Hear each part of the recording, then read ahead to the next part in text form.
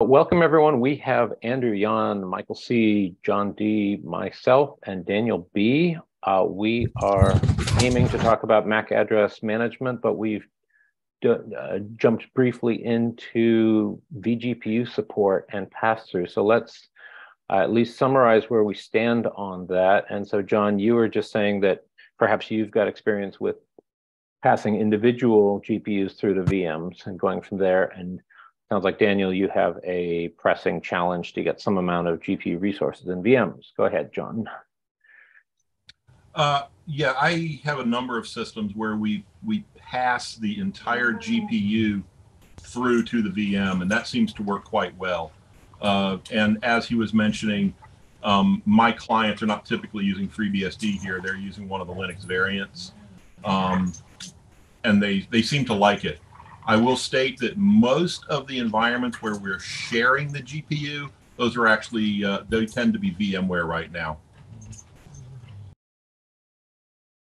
Right. Yeah. That this is this is of course the you know my my interest. My fleet could be uh, is is ninety five percent or maybe maybe higher FreeBSD, and you know I still have I think two VM uh, VMware uh, hosts that are that are stuck that way for exactly this reason.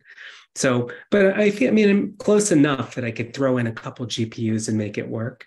But if there's like a you know a proper VM server solution where I could do pass through on multiple devices in one one slot, that would be awesome. Um, um, I don't. So as far as I know, none of the features to split up bigger GPUs into multiple virtual devices you can hand out to different bhyve instances are supported on FreeBSD.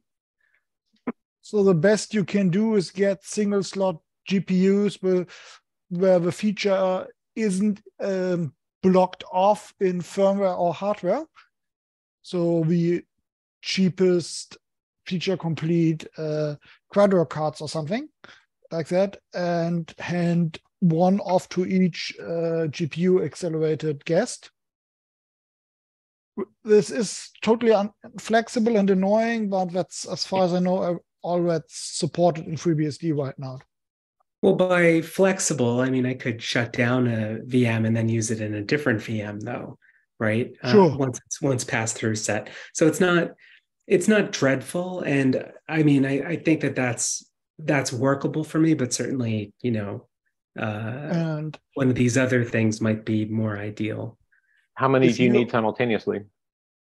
Probably i mean probably four is the you know the, the max problem that i'm running into. You know if i ever if want to sell rdp to... services or, or lease them then that that could you know that could be it could start getting tight. But you know, I, I can I can probably live with four. If you're open to uh, to YOLO setups, uh, you could use a bifurcating adapter to break out the four lane pairs of a 16x slot into four slots on supported mainboards to get so that's why yeah so that's precisely why i'm surprised there isn't uh, such a such a gpu you can slot in that'll that'll do that. Oh um, there is. They just make it either locked down behind license fee or they are just i see. make it really complicated like the nvidia one. Nvidia one does support it but there are so many configuration you have to do with their own utilities uh, in the host right yeah it, it really requires the host to be aware of what you're trying to do. It, it's it is more complex. Yeah, because uh, they, they, they kind of over engineer. Well, they're not really over engineering, but the way they subdivide it, including how much memory you want to allocate to each vGPU and how much uh, JPEG encoder you want to allocate to each vGPU. So it's not something that um, maybe they are internally using SRIOV related stuff to handle that, but um, yeah, they, they're not really documented well, except that, oh, you use this uh, NVIDIA as a SMI command to create this uh, make instances. Oh, NVIDIA's documentation is atrocious. Yeah. I, I don't know which generation of NVIDIA GPU supports a vGPU. That might be an option. Uh, it's probably using SRIOV, but it might be locked behind a license fee or something like that. So uh, maybe the driver itself requires yeah. a license fee or something. So I don't know. Mm, I believe the Kepler generation is the first that theoretically supported it. Um, but like I said, it's now old enough that at least on VMware, the drivers aren't up to date with current versions of VMware. So yeah, um, the immediately following generation still still supports it and works with current stuff.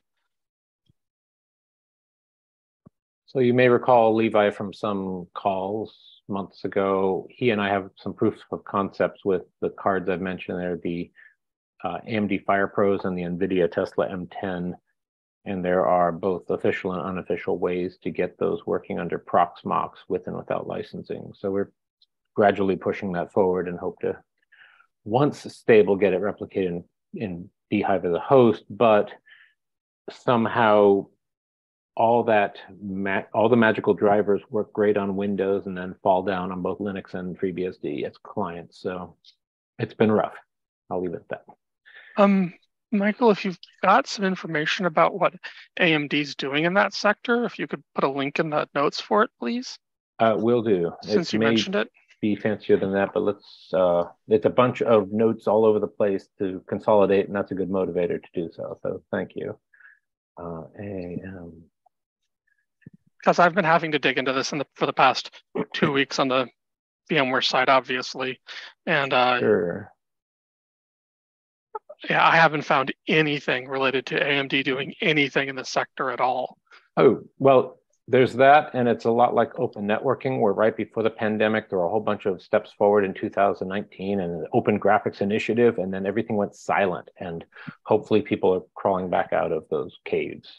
But it's been very frustrating to say, hey, here's, you know, maybe I can find it. It's like AMD open GPU initiative, have a nice day. And oh, and huge progress since then apparently Intel with, I believe it's ARC, will not be locking things down as per tradition. Uh, so maybe that will be an answer because no one is happy with all the lockdowns on these. So uh, GPU. I'm sure NVIDIA doesn't mind. they love locking things down. Yeah. Well, well um, it's a monopoly. How do you raise margins? Unbundling and bundling and unbundling and bundling and market segmentation. And Intel's looking for anyone who will buy one of those things. Yeah. Um, so yeah, I'll, I'll, note on that. And we also talked about like say just simply guac- Apache guacamole to a VNC server, which at least kind of pretends like what we want. um, I'll put this under AMD warm fuzzies because it's like, hey, here's that GPU open.com citing new initiative, blah, blah, blah. And then, hello, why is the repo empty? Anyway, uh, thank you. Anything remaining on GPU and SRIOV, or just quick question, is anyone using SRIOV for anything, networking or otherwise? Because at least the networking would be a great segue to I, MAC address management. Tried to use it for networking, but found out that the old uh, Intel NIC in my lab machine had so far a few ring buffers that it didn't provide much of a acceleration because, uh, well, if you have, I think, eight ring buffers to allocate per direction, then yeah, with eight queues you can't do much because every guest ends up single uh, queued per direction. Okay, so that said, uh, I have OV in use, Michael. You have currently, yes, or uh, as an, a lab experiment? It is in production use with both bhyve and QEMU. Okay, that said, uh, what NICs are you using that are proven? Um, I tend to use uh, either Mellanox or Intel. Okay. Can you name models if it's not too big a secret? Talking X7 10s hypothetically. I, I, would love to give you. I'd have to go look them up. The were the Mellanox are mostly all 100 gig, um, and the Intels are 25. Okay. Uh, I might still have a couple. i710. Possibly. We'll go ahead and look those up when you have a chance. It need not be today, but that's a definitely a long-term question to address. Cool. There are Some driver problems um, that I posted somewhere about uh, a long time ago for the the Intel driver that we have.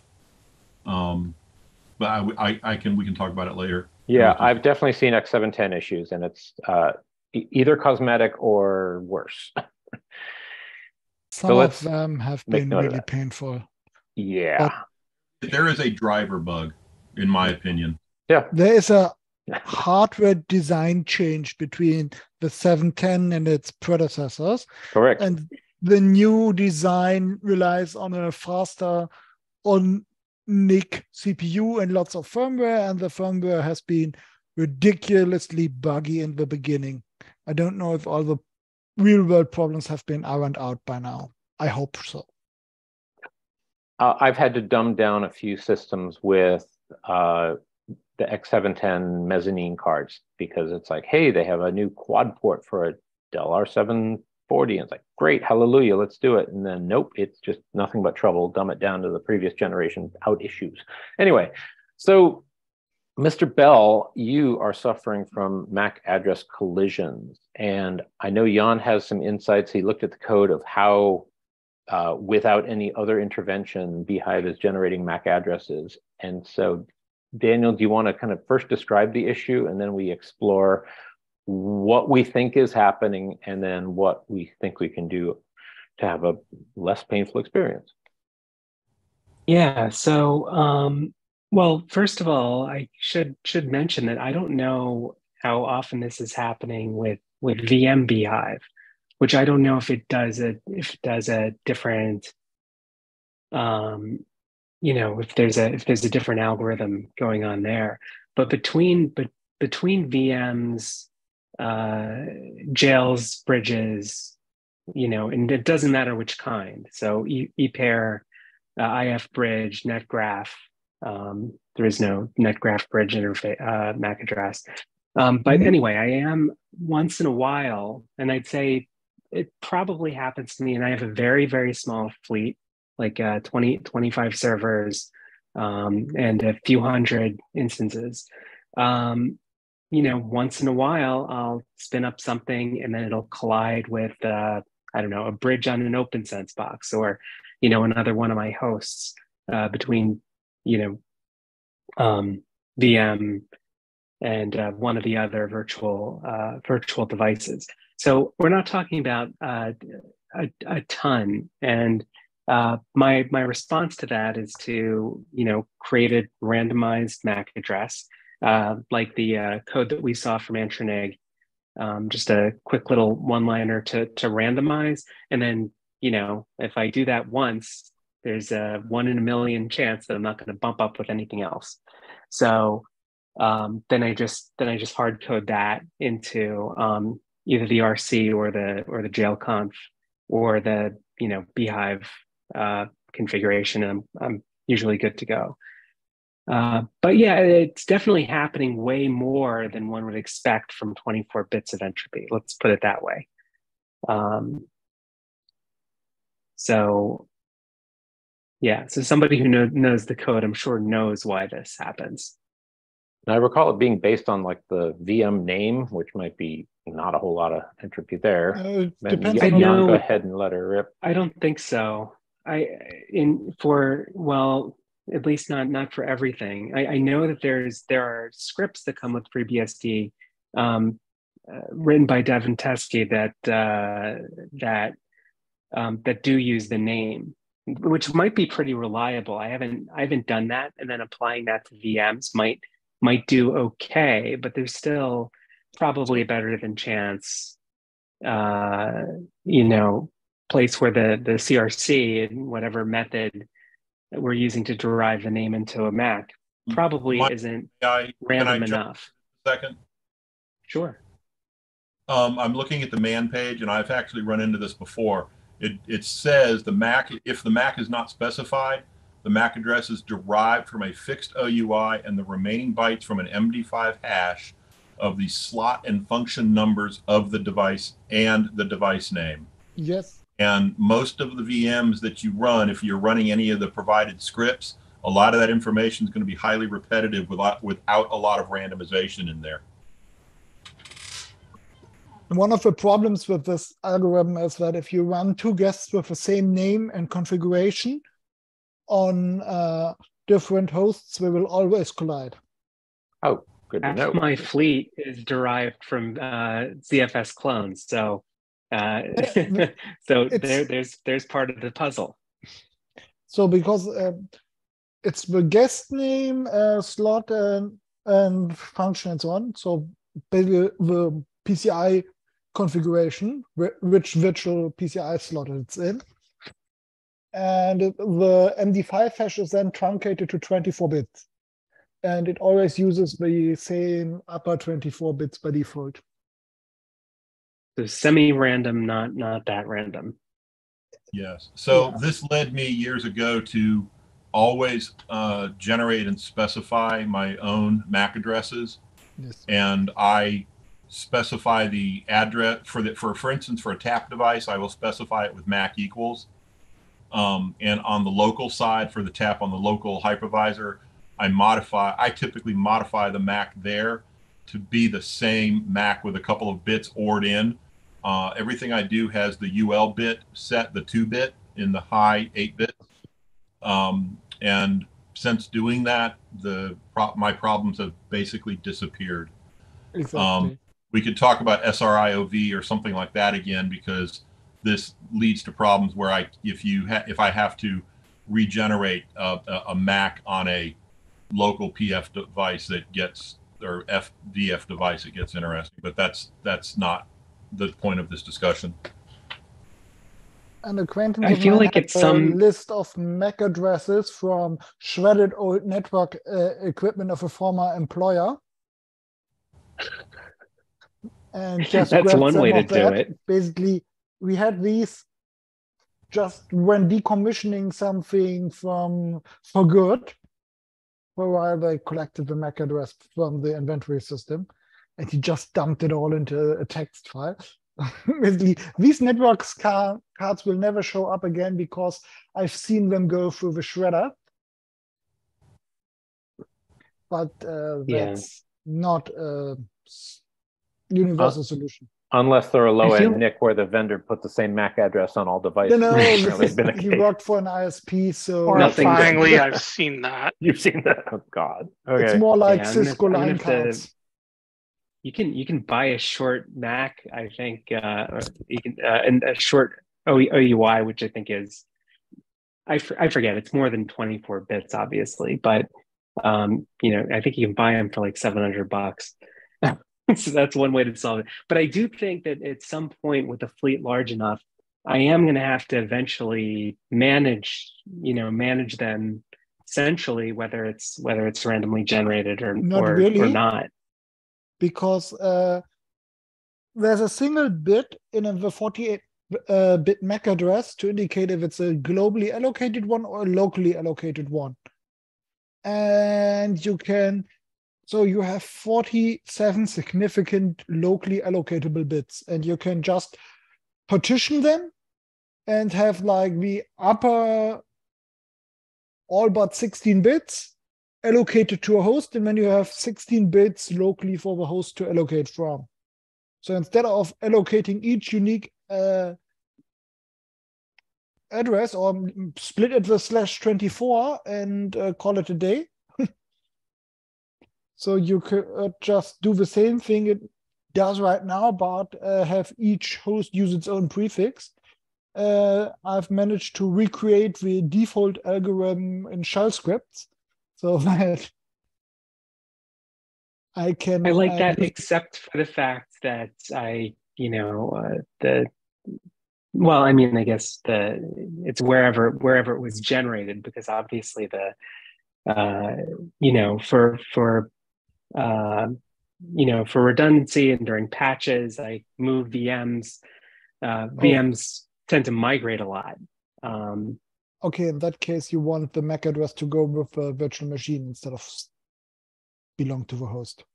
Right. So, but but there's still like you know I could do uh, you know so so there's like a client identifier or something I could use some some bits to specify you know some um, you know some list. I, anyway, I, it's the same same sort of challenge in building IPv6 addresses and stuff like that. So uh, I can I can come up with something, but but I am going to have to do a better job of keeping track of them since this does seem to be happening more and more to me as time goes on. Um, so yeah, I think I think implementing something like this centrally is a is a good plan for for for sure. Uh, is there a go-to solution daemon package for just traditional organizations without any virtualization to ma manage MAC addresses that get fed into, say, various generations of dhcpd servers? I mean, I don't know what's in fashion. What do the Ansible folks do for saying, "Hey, all Macs are handled over here. We do it this way." Yeah, I was going to have good. to home grow something with salt. Um, but that's a good question. I mean, this can't be the first person having this problem. issue rephrased. yeah, yeah. This the, somebody solved this problem in a in a more general way. You're right. The Ansible people, obviously, you know, people dealing with hundreds and thousands of devices, obviously have a solution for exactly this. Um, the simplest solution is if you have with it. I'm sorry. happy to provide a, a, very short snippet of code here that that to, to show how I typically deal with it. That's you, John, typing in chat. Looks like. Uh, no, that is not me. Oh, that's Jan. Sorry. Uh, okay, so Jan, you've got yours. Let's both let's hear it from both of you. It's all good. It's awesome. Um, no, this is the code in bhyve. Which that's the bhyve. okay. Hash calculation. Thank you. So it's uh, PCI function uh, slot PCI function uh, host name joined by dashes and then the MD5 hash and take the lower three bytes. And the upper three bytes are a fixed prefix by default. So, John, you have an alternative approach? Uh, I just so I allow my users to generate their own Macs based on a couple of different um, ideas, but I don't have edit. Can I can I send this snippet to you somehow, Michael? Uh, the the document's wide open. If you put it at the bottom there, uh, I'll just format it as appropriate. So just I, plop it let, in, and it should be editable to the whole world. No, that's been amazingly yeah, knock on wood. Fun. But let me try. Let me try again. Okay. things never work for me the first time. I, I learned that years ago. Um,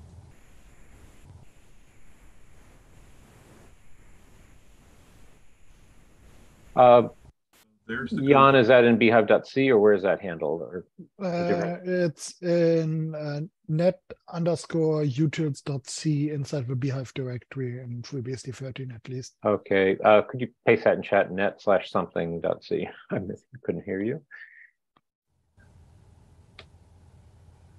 or straight in the doc, whatever works. Ah, thank you, Net NetUtils.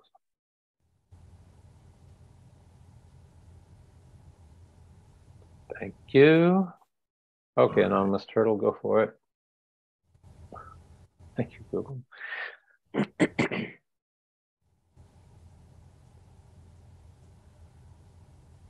if this will work, Ouch. Okay, that didn't look so great. Oh, I can fix uh, that. I can fix that. Just one sec. Okay, um, go for it. The, the secret is uh, on Mac command backslash, which deformats, and then that, something that, like uh, fixed width. Yeah, it needs definitely fixed width. I tried to get rid of all the, the uh, tabs out of it before I sent it. Oh, yeah, well, there's that. Um, understood. Uh, yeah. You may format it however you want, but I hope this gets the idea across of what I try to allow them to do. And then I why did you fix it to six? Just because? So in the random case, where you let, let them uh, generate five bytes of entropy plus. So o, 06 is a the prefix I use for all of our locally generated stuff, either o, 02 or 06. That okay. has the uh, the UL bit set. Mm-hmm. This is the MAC the MAC address that goes into the VM for this device. But it has more um, than. Oh, let him finish. Let him finish. Um, then on the outside of the device, on the tap of the on the tap on the hypervisor, I then set the MAC address to be that MAC uh, with typically with a FOXeasy, uh, so that we can map back and meet people can easily map back and forth between oh. which network device uh, holds their particular uh, v, uh, tap on the inter- inside of bhyve, which allows them to do uh, their network DCP dumping or or whatever it is okay, that they want. So the you provision the tap interface with the uh, four bit, uh, to- so with the four bit toggled off. So with the O4, uh, O2 prefix, which is still local. Yeah, any any value in the top eight bits that has the O2 bit set is a UL. Uh, yeah, yes. Uh, uh, Mac it's locally administrated. So there's a there's a whole there's a whole set a whole range of them that we can use, and I selected a couple of them and documented them to the users, so that it's very easy for them to go in on their on their VM and also go on to the hypervisor and be able to, for instance, locate which uh, which device they are they are using and to be able to mm-hmm. TCP dump things if they need to. Um, what works with Ansible is that Ansible has um, filters for doing math on IP addresses, generating MAC addresses, and so on. Mm-hmm. Under a, and you can specify a variable length prefix in either case. Uh, you can even do math, telling it to get me the next uh, IP address within the subnet and stuff like this. Mm-hmm which is quite nice. Uh, it's, I think the latter part used to be only a community module for a long time, but now I think for it's in the default. The other thing is that um, what works really well for me is if you have some kind of writable source of truth. I wouldn't recommend using LDAP like I did because I just had an LDAP service available, and so I used that. But anything at Nomad and Consul or etcd or whatever is writable and your source of truth works. To have it register its address. As long as you have the option to claim something, it could even go into your uh, IPAM solution if you have one.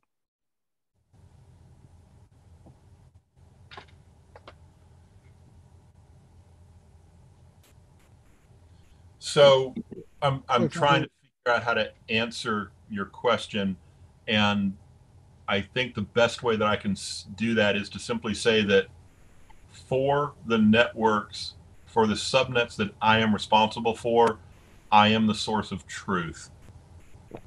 Um, and if I have a problem on those subnets, I am the one who has to uh, determine determine and figure out what the problem is and fix it. But if you get to start from a uh, in a green field, you could deploy something like Netbox and have it register there. Tell us more about Netbox briefly. Uh, Is there a link? Yeah, of course. It's part of the Fritz box. No, not at all. it's an IPAM, uh, open source, self-hosted software to keep track of your IP addresses, VLANs. Mm, that's somewhat the question like I had that. a second ago. Okay, so there is such a thing. Let's take a quick peek together. Oh, Premier. Well, there you go. That's a source of truth. This could be a religion all its own. Um, by combining, blah, blah, blah, blah. okay. Uh, and are you using this or you've only discovered I've this? tried it, it works, but it was overkill for my use. Cool. Well, noted. Thank you. We wrote one in FreeBSD, um, or at least it used to when I tried it. My my team actually wrote one in in uh, in Notion and uses A- APIs to go back and forth, which is just so slow and painful sometimes for requests uh, that uh, I probably need an intermediary. So something So- like this might do well for me. One of the common complaints of Netbox is slow is to that people uh, forgot uh, to uh, do the optional Redis uh, configuration, and then it does all the caching and locking in uh, Postgres instead of an in-memory database, and that will create a lot of synchronous writes. Not bad. gonna Netbox is slow. Uh, do the not not absolutely mandatory part of the uh, getting started guide as well, or installation guide. Interesting. Seems like something I need as well. At your scale, it's probably very useful.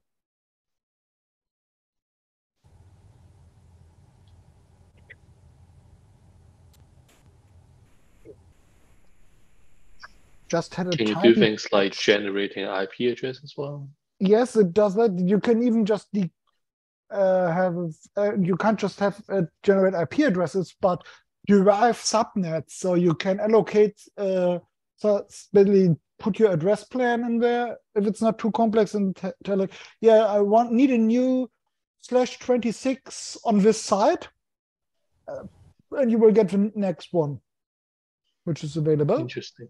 and then you give it a name. You can document a lot of stuff. So uh, the Freifunk community uh, uses this to keep track of all the spo- the sponsored resources they have access to.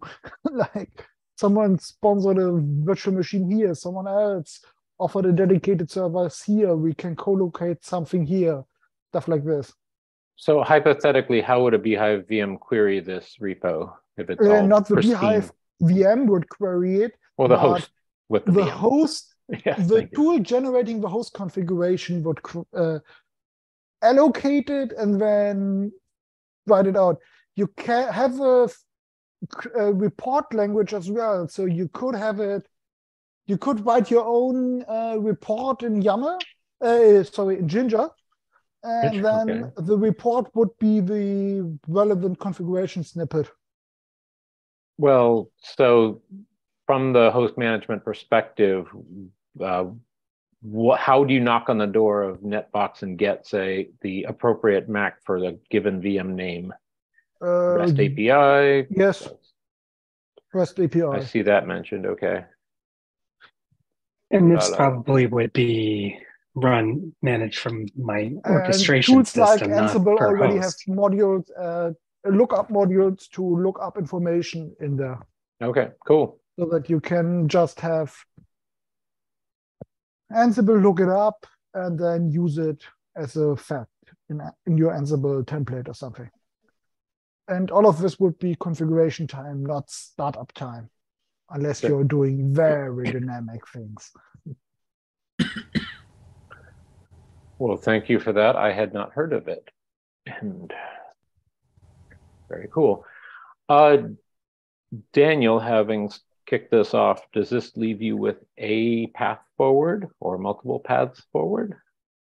Yeah, I think uh, maybe too many, but Ah, well, I can have a I can have another meeting with my team just about this and, and decide how to move. But uh, but yeah, this uh, yeah um, yeah, John, your code will definitely come in handy. I'm gonna uh, steal pieces of that for sure. and John, we're free to use that. Uh, you're looking at my personal code, not business code. So okay. Yes. It's not a GPL or something. uh, Given I'll, I, I, I'll even use it for inspiration for sure. if I could, I'll repeat a couple words I heard earlier.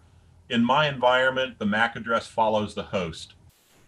So once typically, typically once I generate a MAC address for a host, it stays with that host. I do not generate a new MAC every time I bring the system up. No, that- VM or host or what? Uh, VM. Okay, okay. when I'm working with the network team and with their tracing MAC addresses, um, if we bring something up and down and it changes, that just makes the, the process really hard. So users will hurt you. I'm sorry. If you do that, you will, your users will come find you and hurt you if Yes. the IPv6 address changes every time they reboot. Yes.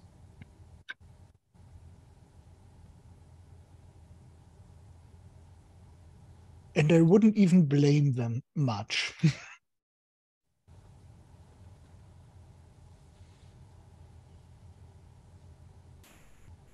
So that said, uh, the, or the MAC address follows the VM if you're following along here. I just want to construe that correctly. Um, any other things best to, uh, practices? One of the things to look out for is make sure your clever MAC address allocation policy doesn't create an ungodly amount of uh, hash collisions in the um, IPv6 multicast group membership for NDP and so on. So if you pick your algorithm in such a way that all of your sequentially allocated addresses end up in the same NDP uh, group, um, you get a lot of unhappy networking teams hunting you down. I think that's a little bit over my head. Uh, can you uh, Just auto increment. Don't get try to avoid auto incrementation. Oh, got it. Okay.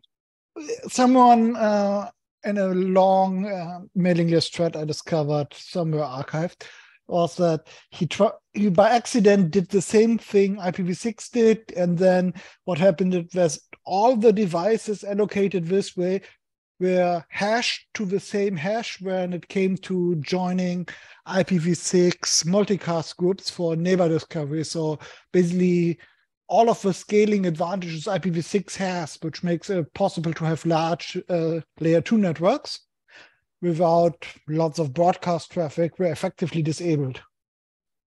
And the Right, other so- problem was that he created a excessive amount of MAC addresses and uh, overloaded the poor top of rack switches because a little more VLANs with tens of thousands helpful. of MAC addresses. Right. So a little more randomness is helpful in, in these Yes, random is fine. Yeah. Just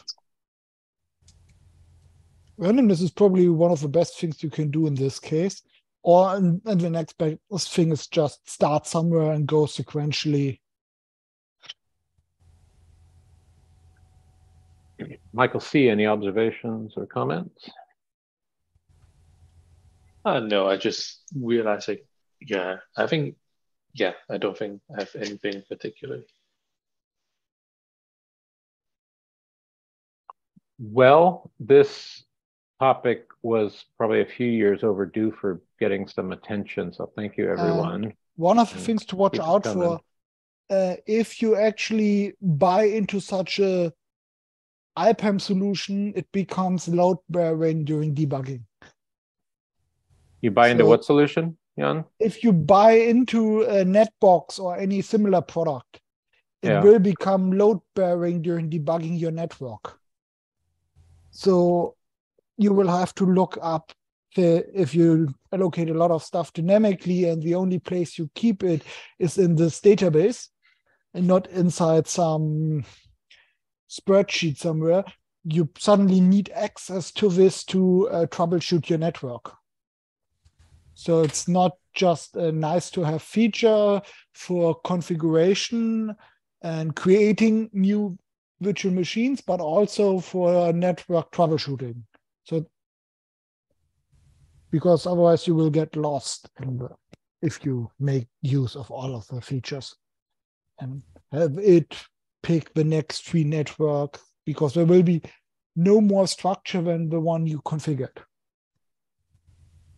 instead of the things operators normally do if they keep track of such things in text files or spreadsheets.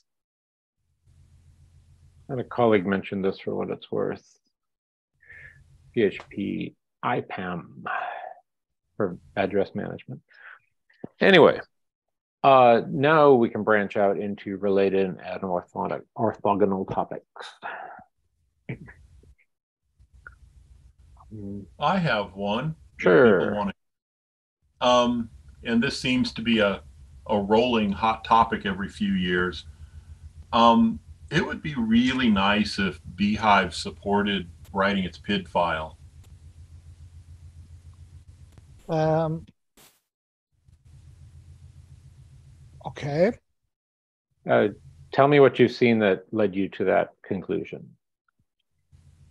Well, it's just another area where, um, I mean, you can Google this, and basically, there are literally, you know, dozens of of solutions to writing a PID file, and oh. mm-hmm.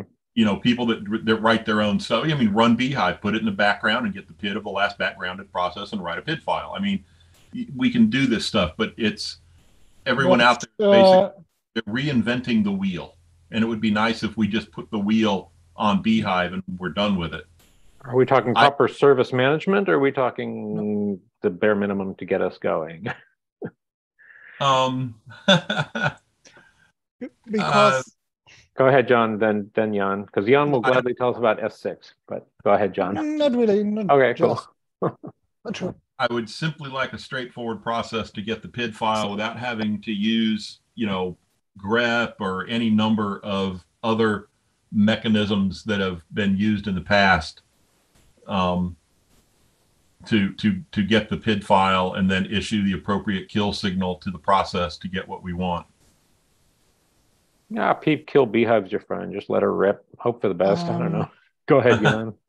so if you know that you're targeting a bhyve process because bhyve uses the guest name in its name at runtime, you, uh, with a proper usage. So make sure to exclude all jails or have one jail per bhyve, And then you can use uh, pgrep uh, dash x or pkill dash x uh, to match exact I name agree. if you know the guest you want to kill. And be sure that you will only hit this process unless root uh, wanted to mess with you. Okay, that's not elegant, but reliable and easy to use. You can also use the daemon tool already available in base to demonize uh, it. It can also write a PID file for it and the process it's supervising. I, I already use the daemon process to demonize a script that actually runs bhyve so that I can do the appropriate types of cleanup or reloops depending upon yes. um, uh, why bhyve came down. But once again, these are all these these are all um, many hmm. ways of solving the same problem. And if if bhyve had a PID file, it would make a lot of them easier. No, it wouldn't yeah, really. Because, hold on, Michael C. What you got? I can comment a little bit. The reason why uh, this is not really work is because there's multiple way to bootstrap um, a bhyve virtual machine, but not necessarily tied to the bhyve process because you can use uh, grub bhyve or others to basically load the kernel first before you involve bhyve to actually run the process. So because of these architectural things, uh, you kind of have to break into multiple stage to do the same thing instead of say I can just have one process and if I kill the process, you just kill the virtual machines uh, because that just doesn't really work too well. Um, because not everyone is using UEFI to run their bhyve, and that's the main problem. Um, in theory, there's also the bad old CSM code, but yep. But so, not, even that is better than using uh, bhyve load or grub bhyve. So I agree with the statement that was just made. However, I I've always viewed the load as different if you killing or getting rid of the bhyve process is different than issuing a destroy on the on the VMM related resources. Mm-hmm. I, oh, I don't yeah, know how other right. feels about feel about that, but that's how I've always tried to to to to look at this set of issues and make sure that I never leave anything, any resources hanging around. Um, the problem is that right now bhyve uses its exit status to signal information to its uh, parent process Correct. or its reaper. Yes, it does. And that makes sense because logically there is no guest at that point anymore. It's the last will and testament of your poor little uh, virtual machine to either be halted, destroyed, uh, or rebooted, or shut down uh, with the power off. Uh, or it has crashed with an error, or triple faulted or whatever. And you need some kind of parent process to implement the policy. This isn't a mechanism question, but a policy question. And the policy shouldn't be baked into bhyve. What's missing is some agreed upon tool to hook in and implement your policy, for example, to just allow guests to reboot themselves. So then So bhyve, control, bhyve control needs to issue the the signal to allow the soft off to occur. No. Well, that, that's that's oh, an, I've wanted that's that for a our very long time communication API. ambiguous. So I'm sorry. Well, it's been ambiguous on you know sending an ACPI shutdown. You it you had to always look up the PID. You couldn't do it by VM name. It'd be great if bhyve Control could do that. Continue. Um, you don't have to look up the PID. You can use pkill uh, and have it look up the PID and match against the process name as long as you don't assume that anything else runs as root and will um, name itself bhyve colon guest name. Uh, feel free to drop in that syntax, given that it's come up a few times now. But uh, that's a bit orthogonal to what John was saying about yeah. I don't care how bhyve control identifies the VM. We already use bhyve control, and the dash VM dash dash VM equals option is the same across them. So to me, that is the predefined API that someone came up with long before we got here. So if I can use bhyve control dash dash VM equals name soft off, I'm I'm good. That that solves my problem. Agreed I don't completely. I'm not argue, I won't argue the point. Yeah.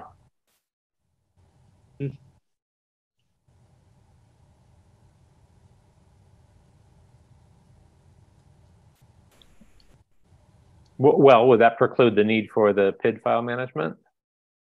Uh, in general, I think it would. There's already a destroy on uh, option uh, Yeah. on bhyve control.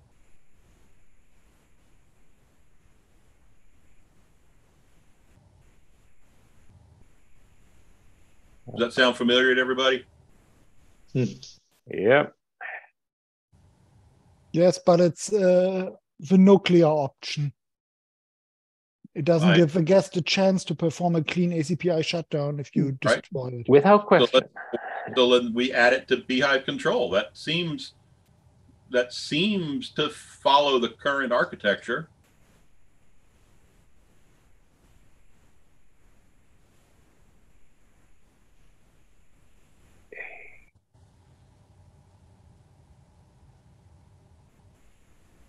I don't really expect us to solve the problem here. I just whenever I Google this every every couple years, the the same it's the same rolling type of subject.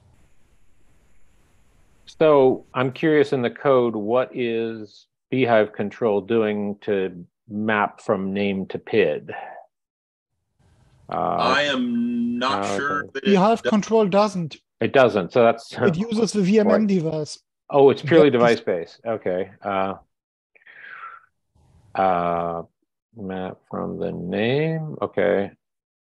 And the same doesn't. work for pkill as well. What this does is it makes sure that the process runs with user ID zero, so root, that it's not jailed relative to where you execute um, pgrep or pkill, so that you don't shoot into jails if you have nested jails or if you're on the root. And the other part F um, matches against the full argument vector and not just the uh, process name. So bhyve colon and then the journey. And the X requires a perfect match. So yeah, the arguments are concatenated with a space. So it just uh, thank you for that syntax, Jan. That might be in my book for me a few years overdue. so, uh, and you added read guest. What do you mean by that? Oh, here we go. Ah, yes. And yep. the meaning of sending a the signal changes whether the guest has already uh, enabled ACPI. So before ACPI, it's basically um, just kill the bhyve process. And after the guest uh, kernel has uh, enabled ACPI su support, which they all do before they mount any file systems. Uh, so there's no risk there. You uh, get a, a soft shutdown. Yep. In any way, is this a state machine question, or is that purely no, the, the jail is... call overlapping into this? Hmm? Is this that purely the jail call overlapping into this? uh, no, no. The jailer was just the uh, the guest I used for testing the syntax because I had to yeah. cobble it together.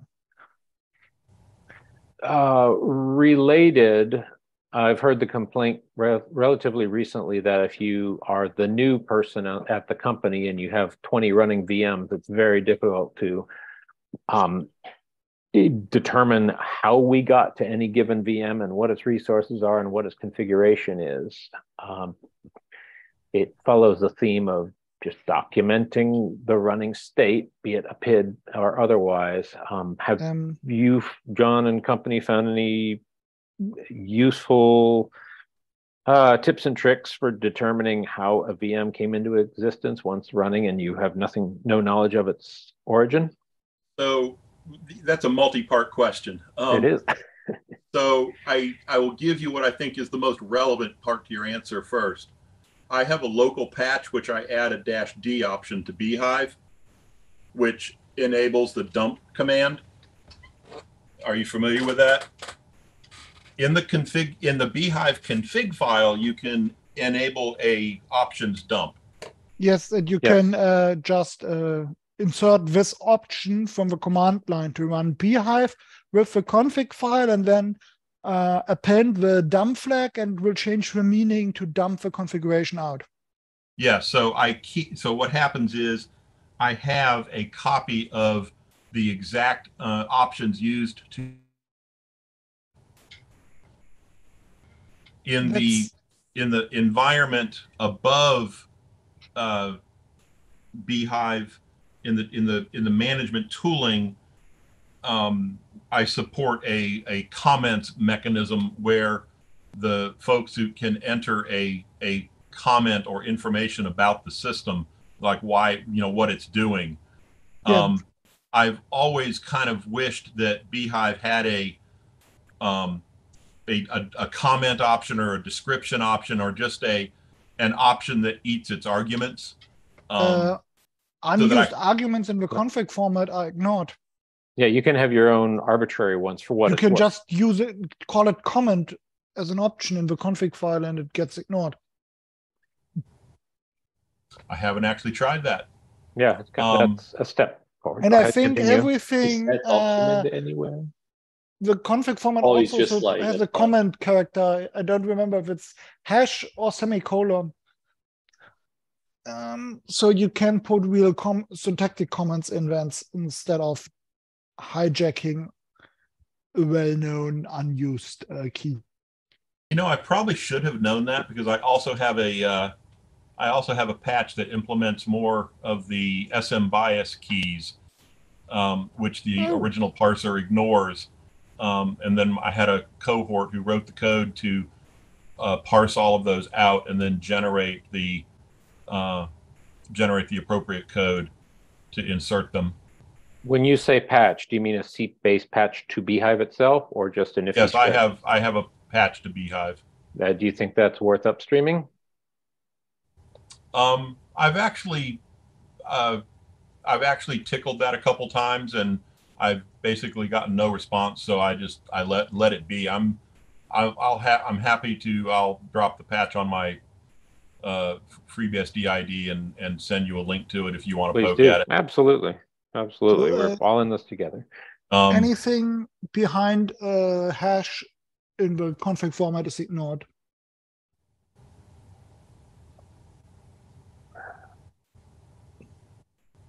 So you already have support for comments in bhyve config. So yeah, so I think I understand what you're saying. I don't actually use the config file to run bhyve. I typically build. I have an options command line, and part of that is historical. Mhm. Um, but I've I do have bhyve output a config file for what you were asking about earlier, Michael, which is a a, a tracking of of how and what re, what resources resources are in use by any given VM. One of the things I don't like is that bhyve actually resets its uh, com- its command line. Um, I I actually have a patch to disable that too. What do you mean by reset the command line? So Uh, if you the do a part- PS, Oh, if you didn't do a, so when you do a PS, you don't actually see the command line used to execute bhyve. Or uh, yes, okay. Right. Um, and I have a I somewhere I have a patch where I used to undo that um, because I like I used to, one of the things I used to do before setting the MAC address on the internal and external sides of the pipe. Um, I would use a PS and go look for the MAC address assigned to that interface. Um, sorry, I, I apologies if it seems like I'm going in circles here. I've, I've gone through many, many gyrations of how this works over the years. Hey, it's all good. We and as have we all. So let's uh, gyrate a few last times and then come up with some sanity. Um, and you say have a patch to simply spit out the in PS the full command because that would be I I'm constantly debugging storage systems with PS axwww just to see everything possible to a replication Uh, command just the, the works. Go ahead. Uh, no, I, I do. I, I feel for you. I I have systems. They're facts. They're important facts. Go ahead. Yeah, they are. I I do what most many people do. If this helps, one of the things that that I, that I do production for work is I run large scale NFS iSCSI type servers, and I run them as VMs, and I use uh, device path through PPT to, you know, pass through the a Broadcom uh, HBA network cards like the Mellanox 100 gig cards. I will just pass that entire device through to the VM. Uh, part of the reason for doing this is if we have to take that storage device down and reboot it, the the the cycle time is is measured in seconds instead of half an hour. Yep. If, if any of you are familiar with some of these large scale storage devices, it's it's just absolutely painful. The faster the computer, the slower the boot. Oh, oh yes, sir. Uh, Man, Neil, I, I I grew up on a 360. If anybody remembers those, and they used to Uh. boot faster than some of our systems today. How many days did it take for the initial program load? well, it depends on what you called the load, the initial program load, IPL. Uh, oh, those were the days. oh boy. Anybody who tells me they wrote their own three card loader, that I know what they're talking about. Um, do doesn't IBM still emulate um, a tape drives? And by that I mean a punch tape drive to boot? Yes, they do. Yes, they do. I will never admit to anybody that I know JCL or JES. Uh, I sometimes listen to someone reporting from his trauma supporting an application. The source code was lost uh, 10 years before he started in the company. Yes, I I understand. So it's written in 32, 31 bit uh, assembly and uh, maintained with, and he had to add um, JSON output to it. Uh, so that that's newer code if that's 31-bit addressing. that's prior to the say above the line stuff. Anyway, sorry, that's history. No problem. So just taking this to the next step, assuming all this is in place and things are wonderful, Jan, we've with your pioneering work, you've got say hot pluggable CTL based VirtIO SCSI uh, storage sure. backends. Backends. That said, do you think we uh, lose or we would lose transparency to a VM's current state and configuration if things become more hot pluggable, pluggable, or do we have to query then a CTL list or elsewhere? Um, can you rephrase your question in a more precise manner? Because I know. Uh, so if a VM were to have hot pluggable about? CTL storage, and it's changed several drives over the course of several weeks and the new administrator sits down will they have a short path to seeing the current state of that storage or would they likely only see what it was like initially when the system booted the vm booted depending basically they can only see the configuration files on the host and the current state those can be out of sync and depending on what you're doing that can be intentional got it um, for example, planning for life could... in the promised land here. Go ahead. Hmm? I'm planning for life in the promised land here. Continue. Retirement? Uh, yeah, that. no, sorry. Um, just joking. Um, so the, the thing is, I have only glued all of this together using Ansible uh, and then executed all under S6RC supervision and management and it works. In 13.2, I'm no longer getting the warnings, so whatever Marv did works, even in 13.2. So I'm, i may sound a little negative towards FreeBSD here, and I apologize. Um, it would be really nice if FreeBSD were su- to support the the mechanisms available in QEMU, where I can go in and dump the device tree and and all of that other nice stuff. Well, if anyone negative uh, used it, then you'll know what I'm talking about. Um, the whole uh, libvirt XML crap. No, I'm not talking about libvirt. I'm referring to you can like run the HMP command against the QEMU and uh, have it dump its device tree and all kinds of stuff. Mm, hey, what's the is, command? HMP, and HMT? Um, I, you'll, if you'll wait a minute, I can. Yeah, please drop in, drop it into Docker chat, please. Thank you. Just so we don't lose anything along the way. So the Docker chat? No, in the document, the, the Google Doc or the okay. Zoom chat. Uh, yes, I will be more precise with you. Or chat. Thank you. I'm excited about the, the hope here. I want to see those okay. patches, John. Come on.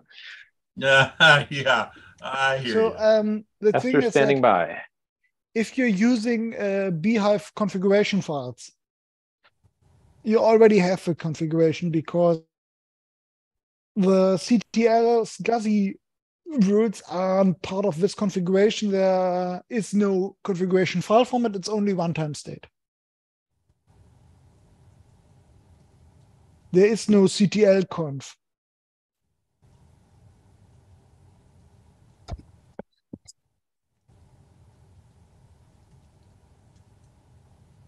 and I've written my own execline scripts to figure out the mapping between CTL port to be used by the um, VirtIO SCSI because it is basically a virtual HBA.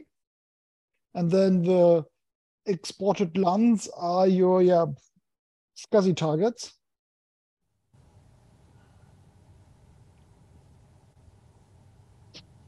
So your config file could look something like this uh, in FreeBSD right now.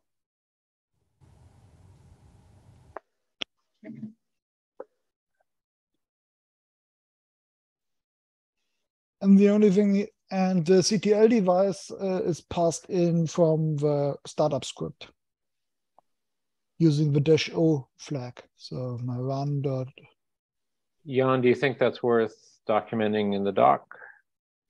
Do people find this syntax in chat helpful? Maybe. Maybe I'll grab if, it. If we want to use it as SCSI, sure. Hmm. And this is how BIF is uh, started. How are you? How is your project coming, Jan? Do you have anything new on GitHub and Friends? Uh, mm, which part? well, the And ready which part. project? which project? S6 managed, CTL backed VMs uh, with no headaches.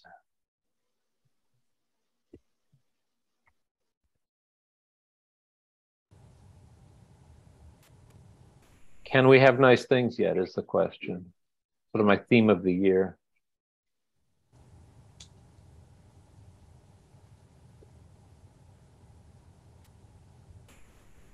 Anyway, uh, John, if you have something on the device tree dump in QEMU, let's take a I'm- look. It I'm looks like you're still gonna- A couple things in. Cool.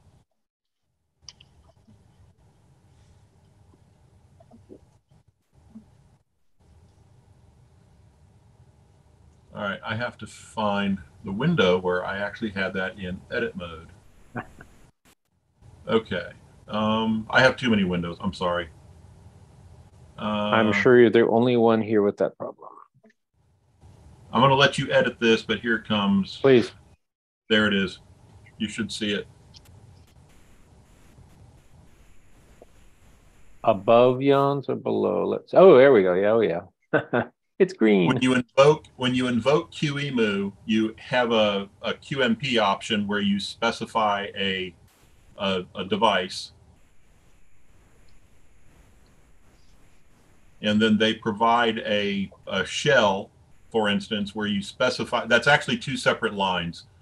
One one is a QEMU option, and the other is a single command you would execute. Oh, this is the QMU shell you're talking about. Yes. So the the the QMP dot the Unix.QMP is an option to the QMP shell command. Where to connect to. Yes. At So- which point you can type in help or do whatever you want, and they have all kinds of good information for debugging. It's it's a if I mm-hmm. remember You- correctly, you- it's one line of JSON per message, and Yeah, there are there are multiple layers of this API available. I'm just trying to give you a sample of one of them. Yeah, totally. And debugging is right up John's alley that he uh that might inspire him. Yeah. But here's for instances where if you know you can hot plug CPUs, you can hot plug devices and cards and whatever you want, and then you can dump it all back out, which I think is what you were asking That's about. exactly what I'm asking. Yes. And I don't know how to do that with bhyve at this point in time. realistically speaking, you if you have a startup configuration files available, you don't have to because there's nothing you can change. To, I, I agree today, but if we ever get to the point where hot plugging and stuff like that works, then we we we need a, a better way. I have uh, brought this idea up where what I basically want to have is that bhyve, the runtime process, starts up with no devices and so on, and then via binds the Unix domain socket, locks itself up using Capsicum, and totally isolates itself so that you don't have to jail it anymore. It may even jail itself before entering Capsicum, whatever uh, it locks itself up and then over a Unix domain socket uh, bound before it locks itself up, you would push in configuration things like this video block device on this PCI device via a Unix socket. And this is, yeah. And that way you could have not just reconfiguration, but proper sandboxing before the configuration is even loaded. And you would have to inject each capability of a Unix socket for example, if you wanted to uh, attach a ISO image, you would open a file descriptor and send the file descriptor to the image you want to attach instead of the path. At least on a wire level. Of course, you can't reference file descriptors like that on the CLI. but nobody volunteered to implement my wish list.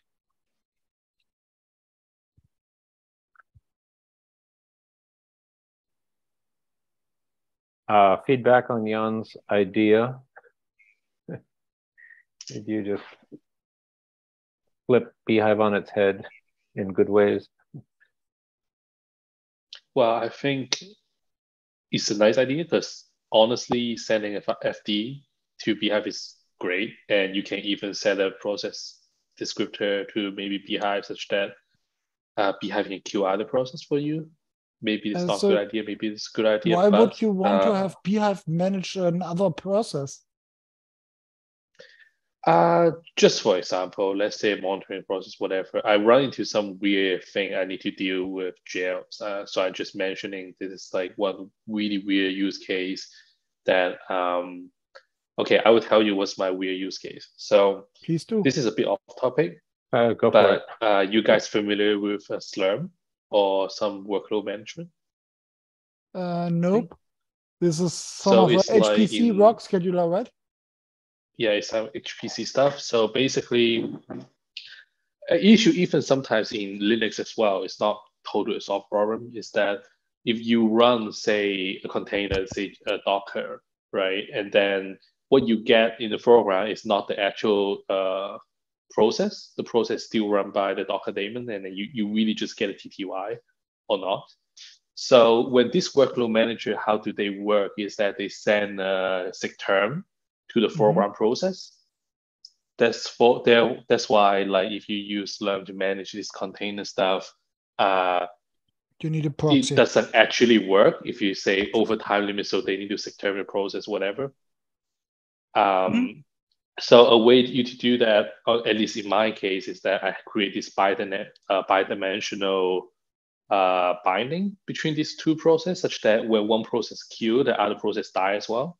And when the foreground process die, I also kill the um, uh, the background one. And yeah. the, the bhyve solution is more, yeah, the bhyve one is the, the thing I, I talk about is really in the situation that um, when the bhyve process ended, you kind of have to kill the foreground thing that's monitoring it. Uh, if the bhyve itself is not uh, hierarchical to the actual process itself, because like they can be different jail or whatever. So I was just thinking really weird situations like this because I've encountered them, but not in the context of VM, but in the context of like uh, jails. Mm. Uh, but back to back on topic, I think the main issue is that um, I think Unix domain socket is a good idea, except I think bhyve is having a bit too much state present in the uh, file system namespace.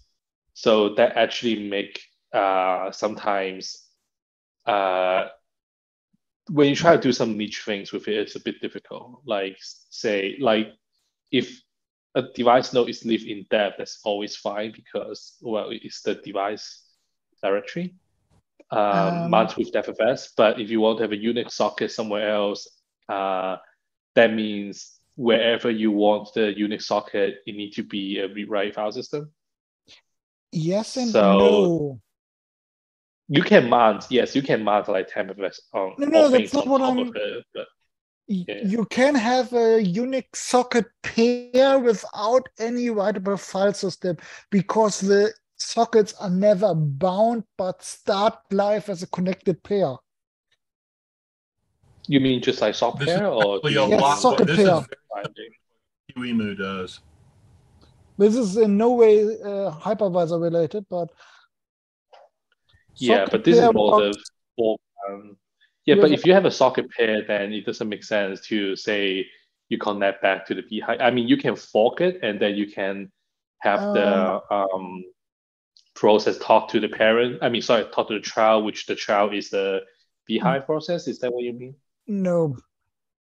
The problem is that to get the pro- the behavior you expect from any network-like service, which includes Unix sockets, you need a name to uh, connect to, and the namespace for Unix sockets is the file system. So you need yeah. a writable directory to bind a socket into. That's completely correct. And unless we consider the ugly hack, which uh, is the abstract namespace in Linux for Unix sockets, there is no solution around to work around with, except that you can kind of with capsicum and a bit of cleverness fake your own not quite bind with a socket pair. What you can do is you can have a socket pair where one end using caps write is restricted to only basically pass along this file descriptor use to another process, uh, dupe it or close it, but you can't change its blocking state and so on. Then you can hand this file descriptor around to other processes. And instead of using um, connect and accept, the server will limit the socket buffer space so that only uh, the intended backlog amount of sockets fits into the socket buffer, and then you can always just keep the socket buffer full of new uh, endpoints from a new socket pair. Yeah, but the issue is this That's, is bit too complicated to implement in base bhyve. I'm pretty sure we can do that in some like bhyve hypervisor. It's probably and my response is really yeah, but it's you know now we're talking about another daemon that need to hold a socket pair as well no, as running bhyve. This is only this would only be used for the earliest startup. If you really needed bhyve, normally you would use a directory and then you can have a file descriptor to the directory and pass that around and use connect. Yeah, but yeah, yeah, but we're referring back to the issue about what if we can have like uh, uh, back to the question of Michael uh, earlier mm-hmm. is that the idea of Unix socket, and that's a limitation mm-hmm. I see when we try the Unix socket approach, and that's why it brings up the uh, file system namespace mm-hmm. and what kind of things bhyve is already but taking. The idea here would be to have bhyve the user space half of a hypervisor and bhyve, the config parser, split up into two processes.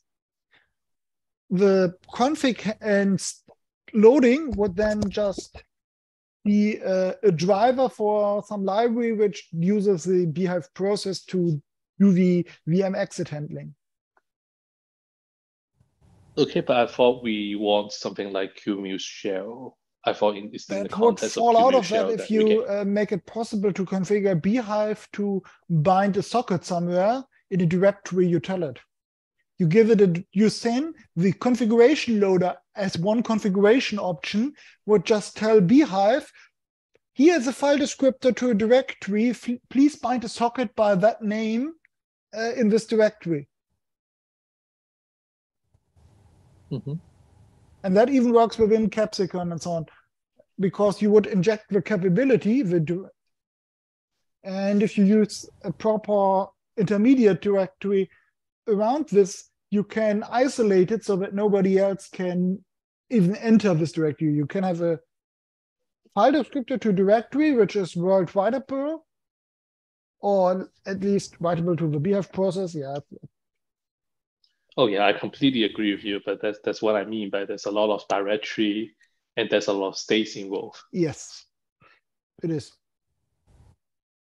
Well, um, just shoot us your proof of concept when you're ready.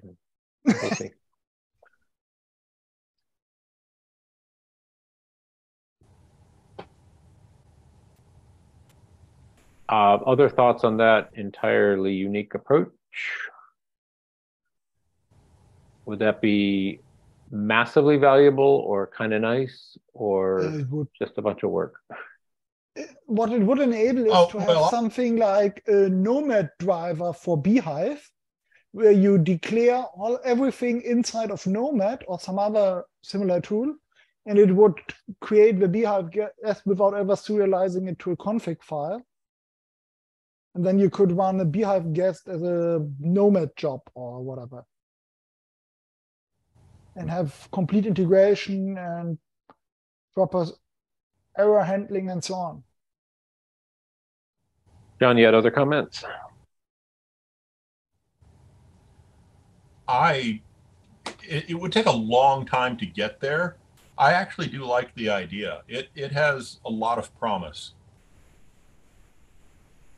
And is it following I'm- not- a different model or is this Jan your view of the world unique to bhyve? Uh, what do you mean by following a different Uh, model? is That- is KV Linux KVM doing exactly this? And No, it's not doing exactly this because they're not taking it to this extreme to make it the default interface. Rather, they have a command line interface, as far as I understand, and a shell, and you hope that all the features you use are available via the interface you want to use. could you map this out on your napkin of choice without having to write a single line of code just to get the idea out there and perhaps in front of say John's eyes? that. Mm, uh, but- Not sure. Um, I assume in a long way, I assumed that I just did that, but You uh, did, yes, but But the um, problem is that uh, for those again present, one of and those is things recorded. where if you if you have the idea, it's probably obvious, and to anyone else, I'm could be talking Chinese. Uh, That yes, uh, yes. As a resident slow one here, um, I I would love to see this visually, in some regard. So it's like, okay, so this now Okay, handles this. um, Here's where Capsicum have you ever up. looked at how bhyve starts up? The first thing it basically does in main is pass its argument vector, right? It takes its command line options. Okay, yeah. One of those options is to basically do the same again for the configuration file. So, and the idea would be instead to break it up and have it take it, or maybe just add a new command line option to take the configuration instead of from a file from a Unix socket. And if it's provided as a file descriptor number, basically, by the way, you inherited this uh, connected socket, please use it. That would be the minimal invasive way of doing it. But the interesting part is that if you use a Unix socket, what uh, is special about Unix socket is that you can send file descriptors and not just normal data over them.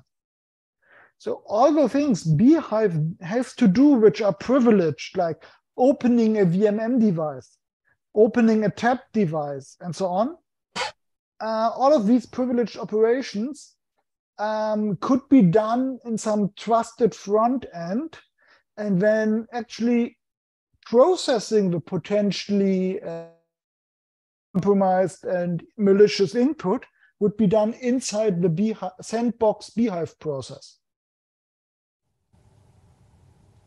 So the trusted front end would never look at the content the guest provided and would only look at trusted input.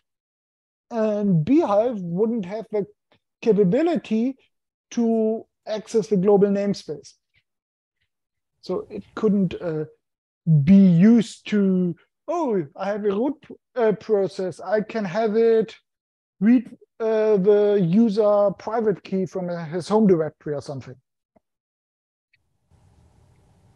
Because unless you pass in such a file descriptor for the 9pfs service or something, it just doesn't have a way to even address it because it inside its capsicum uh, sandbox all the time. Capsicum Hive. Capsicum is already Capsa enabled in bhyve. But what it does is it passes the configuration first, opens the, for example, the uh, raw files to be used as block storage itself, and only then, after it has passed its configuration and configured itself using its configuration, only then does it apply the restrictions. With the idea I'm proposing, one- it can enter the sandbox before loading the configuration because the configuration provided over the socket, for example, as uh, NV pair messages, um, doesn't just contain the configuration like the MAC addresses, or the guest name or whatever, it also contains the file descriptors to the resources to be used. So you wouldn't be telling it where under slash bhyve guest uh, main dot img is your raw file image containing your first disk. Instead, you would say, here is a disk uh, as file descriptor this. Please make it available using this backend.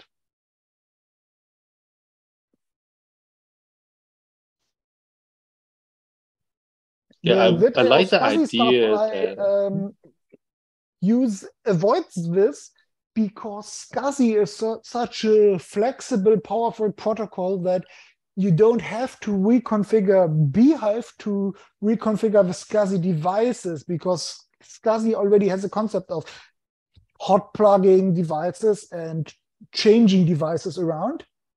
Even resizing devices at runtime is all supported at starting with uh, SPC3.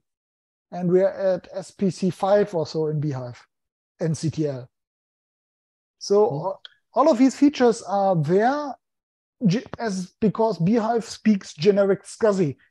And the only part bhyve does is it emulates a host bus adapter to connect it to the virtual SCSI bus.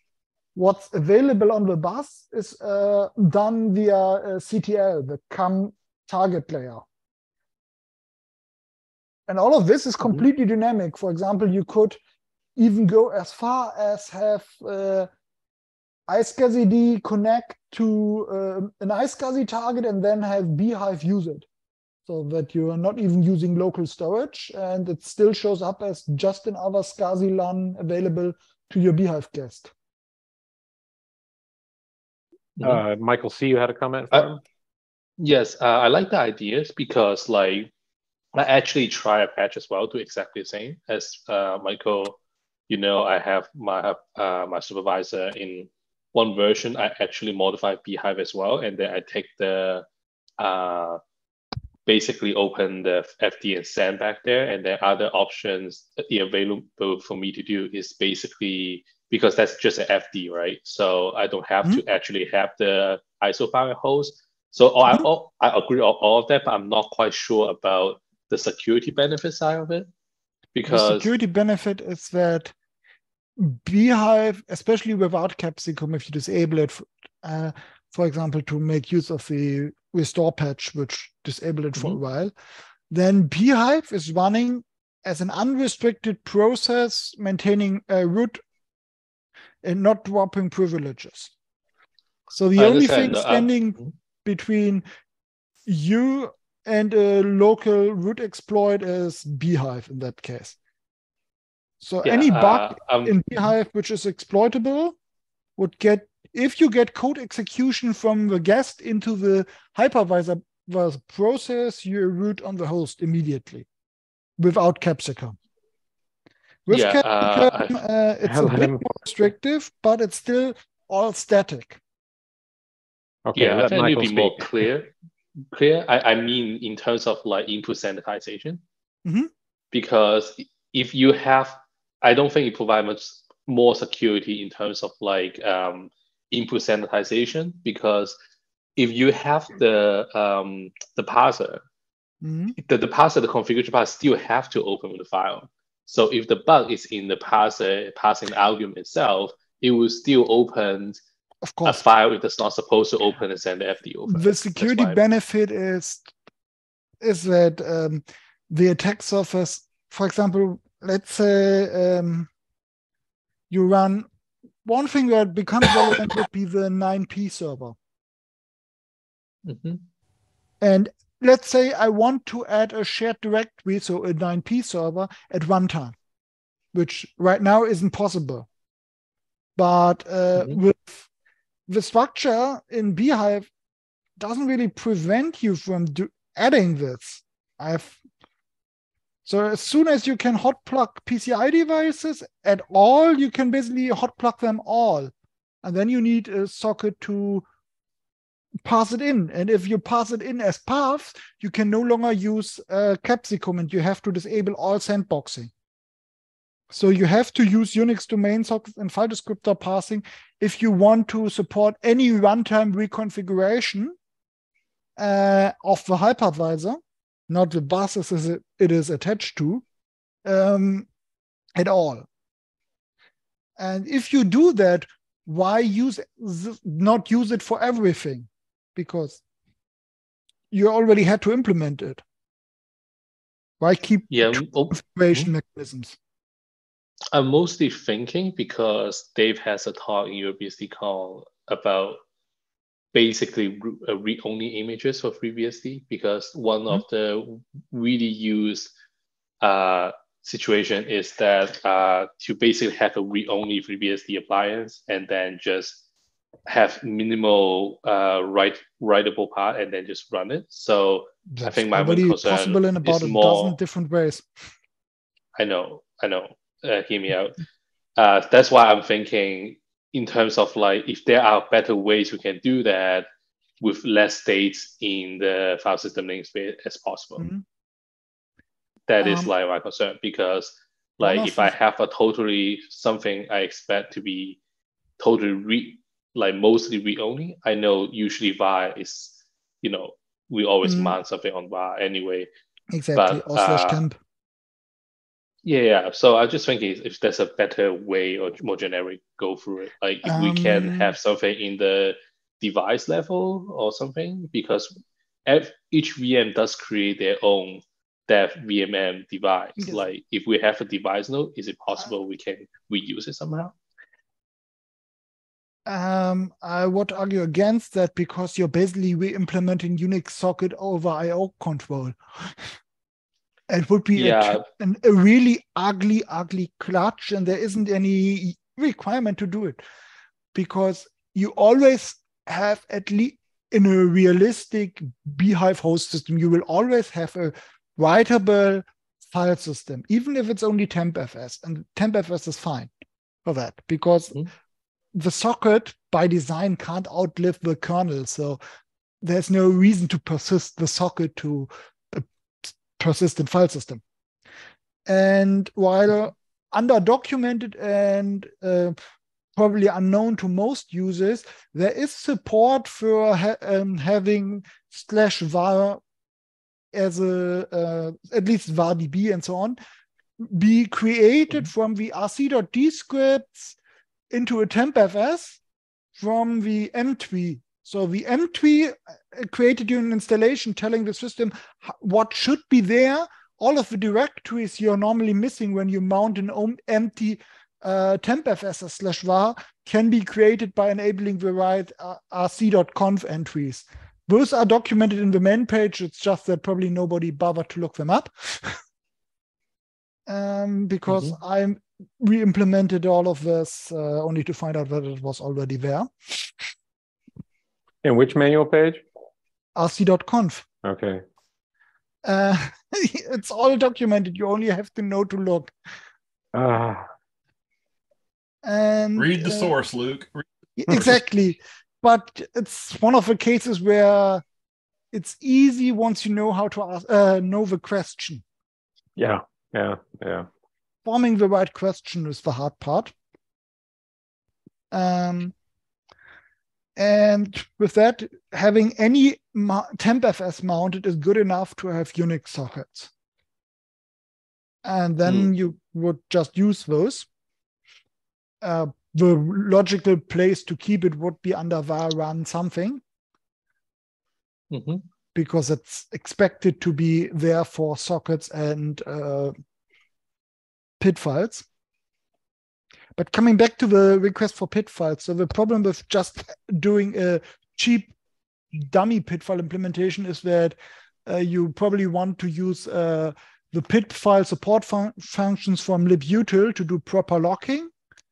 Uh, the out of tree workaround to get this would be to have a chain loader, which creates a PID file and then executes into uh, to um, bhyve intentionally leaking the PID file descriptor, which is already locked. Uh, because then, as soon as bhyve, the process, dies uh, automatically the kernel will uh, unlock the file and the PID file is marked as stale according to the libutil PID file functions. So basically, when it tries to judge if a PID file is stale, it does a non-blocking locking attempt on the PID file, and if it succeeded, it knows that the original process, which was supposed to hold the lock, must have died. So the PID file must be stale. Um, yes, so. Uh, Michael, I'm going to have to leave. I actually have a, a work meeting coming up. Um, I have a suggestion. I do, and I can try to provide a little bit of information. Sure. If we were to meet next week, maybe um, getting a, a QEMU command line and looking at how they pass sockets around, which is very similar to what he's referring to, um, might be might be eye opening. I, I don't know, but it's something we could discuss. Okay, I will be camping next week, and that might be a time to skip. Um, I could try to drop in, but I will not be very effective. So maybe No, do, do your We can do homework on collecting that. Um, and see. So it's handling them by default or optionally. They are options that you pass. Okay. It's a, it's a way of doing things. And you said it, how it's handling sockets. QEMU. Well, no, it's how it passes file descriptors around. Okay, got. Thank you. Uh, how it. It Doesn't does. it It, does just, uh, things similar to what he, Don't we just reference them as numbers from JSON messages? And send Uh, the message in the same uh, send MSG uh, call as uh, the so the JSON object and the file descriptors referenced by it. Yeah, Yes, but at on the Linux, level you're there's looking at another it, yeah. horrible way to do it. Sorry about that. John, you got to go, Ray. Well, thank you. You've certainly inspired some great conversations. And we all look forward to those patches, especially if it's as simple as maybe we could have a flag that says show the You're entire bhyve command rather than just bhyve VM name, which is Um, great for a new user and agony one for of the more things advanced which users. would Go ahead, Jan. be probably easy to add if, Right. is have the parser uh, stay because the option to dump the past configuration is already there. Yep. And what we could probably quite easily add is a handler for a signal like uh, USR1 or 2 uh, or info uh, to um, dump the configuration to standard error without exiting. Oh, hello. Okay, I'm listening. That would be probably quite simple to add to bhyve, and it would just use the existing emitter code to emit the the used configuration because the, way it's implemented in uh, bhyve, if I understand correctly, is that the command line options are basically translated into uh, config lines and then passed. So uh, that you end up with the, the one true configuration file in the end. Under bhyve as we know it in its current Uh, under. bhyve as we know it today in FreeBSD 13 and 14. Okay. Uh, it would dump the config or the full command that launched it, or both. No, it what? would dump a, a config equivalent to what's passed up to that time. And if you do it at one time, the configuration equivalent to what's running. And you could just, if you want to restart it with this option, you could just put this configuration in. And it's probably everything expanded and so on. So you may not want to do it, but it's perfectly usable to understand how this uh, bhyve process you don't know about uh, was configured.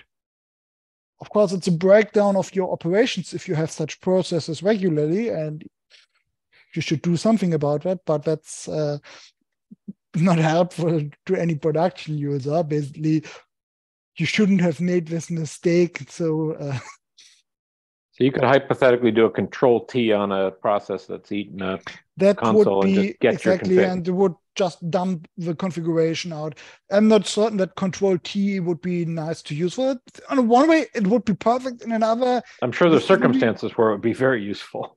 yeah, exactly. Uh, but having a long multi-line message with Control T is mm, unusual. I said debugging, but ship it. Yeah. Great. I look forward to it. I'll test it for you. Thanks. Mm, Ah, good stuff, people. Very good. Uh, we are past a moose jaw worth of travel time from Portland outward. Uh, anything else or any last thoughts that popped in your heads relating regarding to PID files, I can show what I did to get around the need for PID files, which is what I consider basically mandatory to do the reboot and shutdown and halting. Uh, sure. And John, you've hopefully heard that and just check the minutes if there's some code appearing shortly. How Jan avoided the need for PID files. I run it under uh, S6RC Oh, well, okay. uh, or run it or some other process supervisor. And the process supervisor uh, will run a finish handler and pass the exit code to the finish handler as argument. So for example, let me grab it from my unfinished Ansible thing uh, I've been teasing you with for far too long.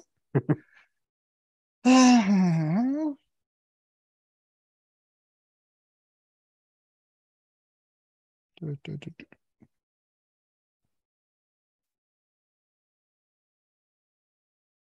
I just need a minute to find the right file. Of course. Take care, John. Thank you for all your great input.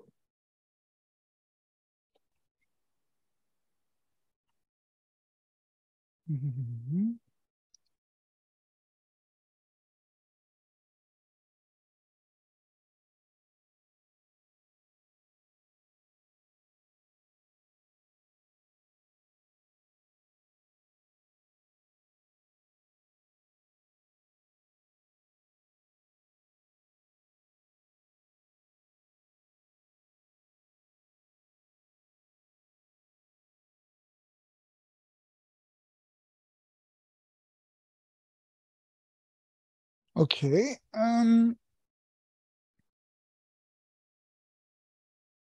Oh, um, okay. Tip. Um, uh, the my Ansible playbook is suffering from term, terminal uh, YAML and Jinja, Okay. but let's just look at the result maybe. I will try to uh, hijack the screen sharing. Uh, sure. Let me stop, and that might help.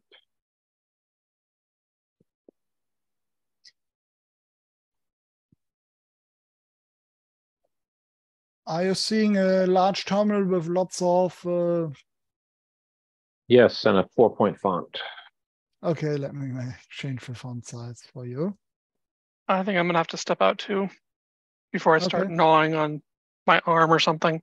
For lunch, yeah. Uh, nudge me on the Windows VM goodies, and I'll try to get you some AMD GPU information. Yeah. Okay, Andrew. Thank you. Oh, so, so yeah. much. Oh, okay. So many topics. So many topics. Thank Anyway, you. Bye. take care. Bye. So this is the relevant execline code. It's think of it as a le- easier to template alternative to shell. Hmm. Uh, what it does is it figures out the name of the guest so that I can have the same script for for all my bhyve guests. And it will decode from its uh, um, location which guest was to log. So, okay, and then it just tests the first argument. And if the first argument is zero, okay, the guest wanted to be rebooted. So it destroys, at this time, the bhyve process is already dead. And it just cleans up the VM so that the new bhyve process, which will be created, doesn't reuse a dirty VMM device. Then, okay, If it's one, the guest wanted to shut down and not be rebooted. In this case, I configure the current S6 RC service with dash uppercase O, which just says make this uh, execute once service, which means it will not be restarted. So the service disables itself. Here, okay, uh, the guest wanted to be halted, so don't restart, but also don't clean up the VMM device so that you can still access the guest memory content. And if it's uh, free, then okay, it crashed with a triple fault, uh, destroy the state and let it reboot. And if anything else happened, just uh, bhyve violated the expected protocol and reboot it. Are you willing to paste that into the doc? Sure. Cool. Danke. It would be easy to translate this to a shell script and or basically run bhyve and then dispatch on dollar question mark in a case statement. Uh, yes, sir. I love this it. is just the if else chain Yep. equivalent to a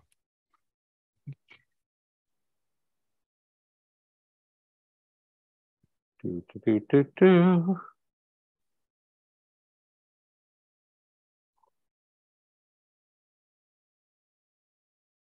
So this is uh, would be the shell equivalent.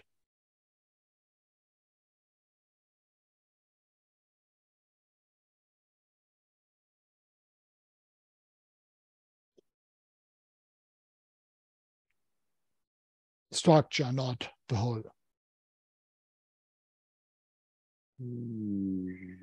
Oh, so which syntax is the is that first one? Uh, exec line, it's a port I maintain. Ah, okay. It's a scripting language implemented by rewriting the argument vector and execing. And it's ma- meant for uh, uh, very short scripts to during startup where you basically want to set up the process state in exec into your daemon. Ah, Something like okay. apply resource limits and exec. Are you familiar with sub, uh, shell scripts which end in an exec line? Basically, apply resource limits, change your effective user ID, and so on. And it's for this kind of thing. maintainer crest. Alrighty Yes. then. I see it. It's uh, and one of its advantages compared to POSIX shell is that it has sane quoting and chomping and splitting and so on rules that you don't have to add make your script twice as long so that it is not unreliable, exploitable, slash buggy. okay.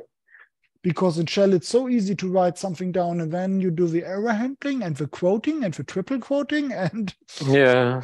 Guilty as charged. you have to do it like that in POSIX shell, but Yeah. in execline the syntax is a bit simpler. Uh, argument, uh, so verbal expansion and so on is more explicit and it's fine for these short scripts. You shouldn't use it for a thousand line program, but 10 lines or something like this, or something which should be 10 lines is no problem. Okay. Anything else? And so Who's left? Michael, you're brave. Michael is here. Good work. just I'm left alone with Michaels. Yes. Well, we have Jan and John, and Michael goes by Jan. Andrew is the only one who's not having collisions. Okay, yeah, no. Well, uh, we covered some amazing ground there. Thank you. With actionable snippets for people. Yeah, and the run, let me find out if I can fit, fit this into a single message. I've, no, it's too long. I have to break it up. Okay, fine. And you can plop it right in the doc if you like. That'll handle longer. Uh, because I'm just copy and pasting also.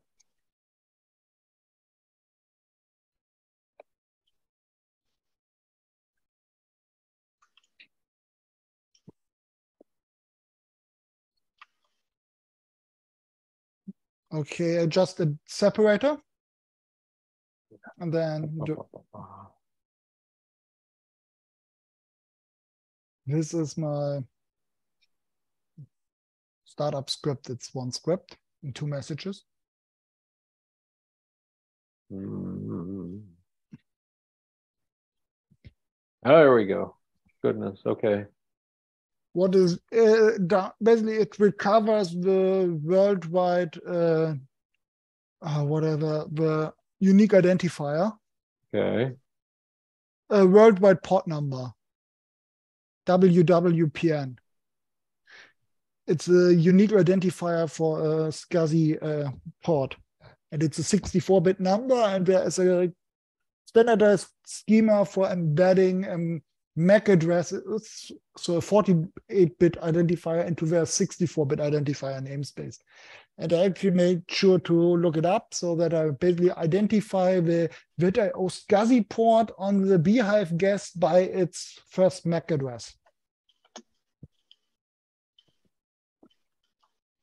So that I avoid uh, port identifier collisions on the SCSI bus, which is something you're not supposed to have and it allows me to dynamically allocate the um, the CAM target CAM target layer device so that I don't have to hard code any indices in there because you really have to dynamically allocate them for what I'm doing.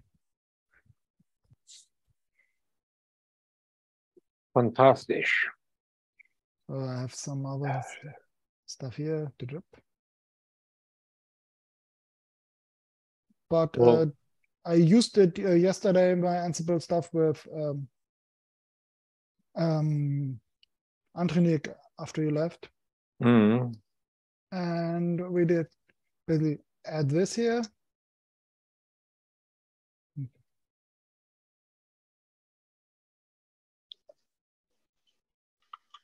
And this is all that was required to create a new